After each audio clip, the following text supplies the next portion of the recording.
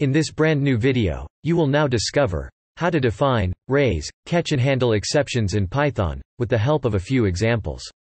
So be sure to stick around, and watch till the end, if you want to handle errors in your program, without even interrupting its execution flow. When executing Python code, different errors may occur, coding errors made by the programmer, errors due to wrong input, or even other unforeseeable errors. When your program encounters an error and that something in the program goes wrong, the Python interpreter stops the current process, and passes it to the calling process, until it is handled. This is the default exception handling behavior in Python.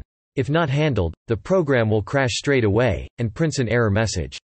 But, if you do not want this default behavior, you need to handle these exceptions in your program. And that is where try and except statements comes in.